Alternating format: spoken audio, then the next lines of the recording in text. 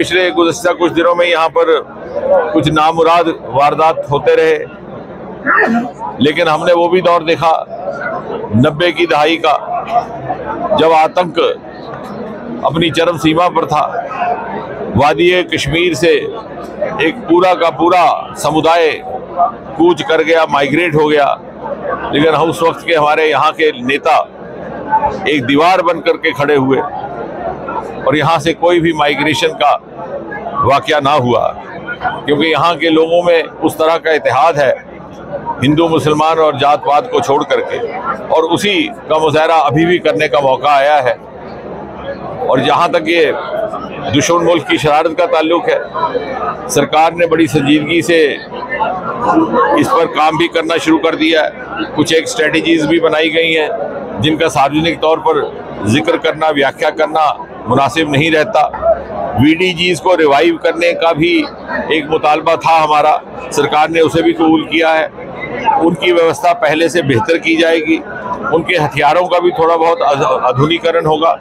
हो सकता है कि सेल्फ लोडिंग राइफल जैसे हथियार भी उनके लिए मुहैया करवाए जाए। और जहाँ जहाँ भी ज़रूरत होगी वीडीजी इसको कायम करने की वह भी किया जाए।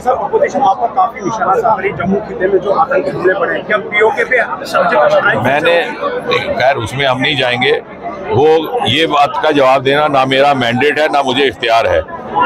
ये नीतिगत फैसले जब होंगे सो होंगे। लेकिन जो भी होगा मोदी जी की ही सरकार में होता है।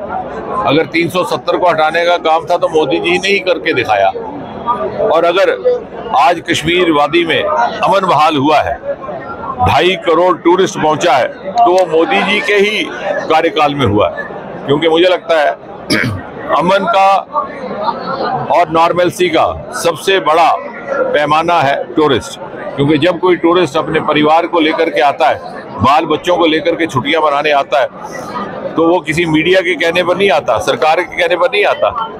वो फ़ोन उठा करके अपने किसी दोस्त से पूछेगा, अपने किसी कोलीग से पूछेगा कि भाई मैं ऐसे छुट्टियाँ मनाने आ रहा हूँ, क्या वहाँ पर स्थिति सामान्य है कि नहीं है? और जब उसे तसल्ली हो जाए तभी आता है। और इतनी भारी संख्या में जो टूरिस्ट दिख रहे हैं, इस बात की तस्दीक है कि उन्हें अब इतमाद है कॉन्फिडेंस है कि अमन बहाल हो चुका है।